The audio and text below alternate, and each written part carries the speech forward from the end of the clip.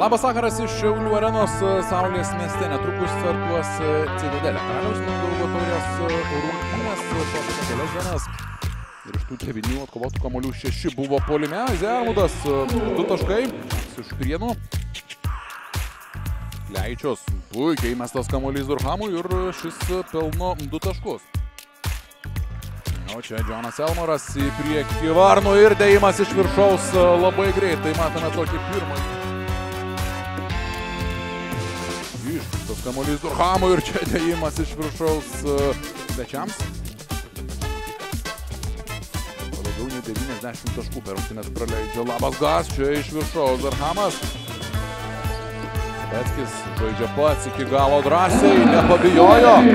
Ivano Durhamogis. Bradica, šis iš toli yra, pataiko serbas.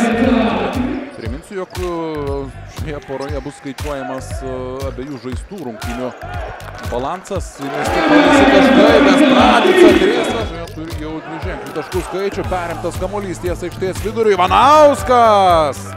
Štai toks jo prastesni epizodai. Perdavimas Darhamui ir čia du taškai. Iš toli Sireikos auklėtiniai kelias sužaisti greičiau. Erbudas! O! Kamuolį susigražina svečiai. Ivanauskas visiškai laisvas kampė, 3 taškai. Nubausti dabar buvo Niulis. Padvigubinta gynyba prieš jį, Danusevičius iš toli, geras metras nuo linijos yra, pataiko. Baugės tik vieną kartą. Eimantas Tankievičius visiškai laisvas kaip ir treniruotė, 3 taškai. Nepatas. Jokinas, oi, koks blokas! Apjauskas. Aikštelėje, atmestas kamuolys Darhamui. Šis iš vidutinio nuotolio susirena du taškai, kuriuos pelno Stebeckis. 11 Martino Varno sąskaitojo čia Darhamas. Tikrai labai slogi. Kėlinio pradžia, bet čia Erbudas. Užkabina. Perdavimas į kitą pusę, Kleičius. Atšokdamas atgal, labai sudėtingas buvo šis bandymas.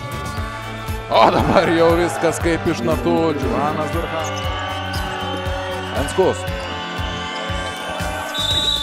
Buvo kirsta per rankas jam 2 plus 1.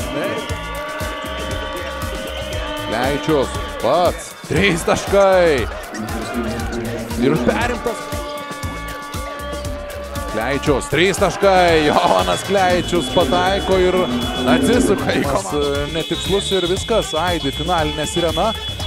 194, labas gas švenčia pergalę.